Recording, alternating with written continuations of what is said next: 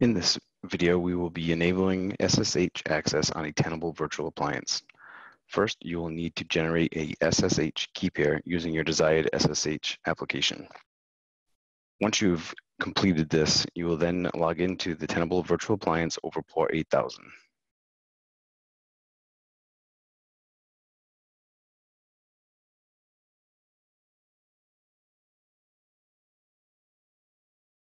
Once you've logged in, you will then click on Applications and then click on Security Center.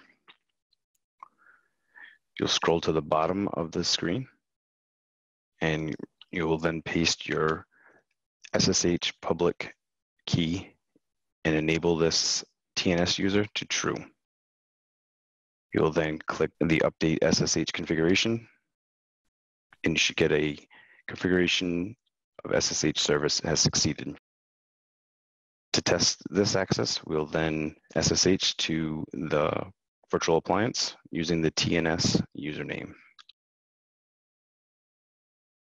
Select yes, and at this time you have successfully SSH to the Tenable virtual appliance.